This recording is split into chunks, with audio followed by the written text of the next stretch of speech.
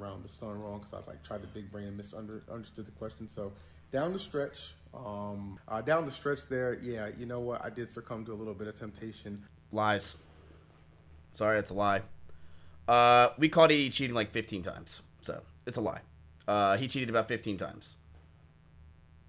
Uh, total lie.